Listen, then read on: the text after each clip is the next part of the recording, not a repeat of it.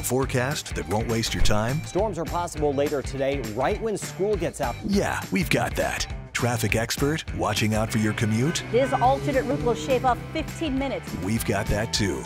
With weather and traffic every 10 minutes, Channel 9 Eyewitness News puts in the work so you don't have to. Lots of sunshine this morning. From clear to severe, Brian and Racquel have you covered. Channel 9 Eyewitness News this morning.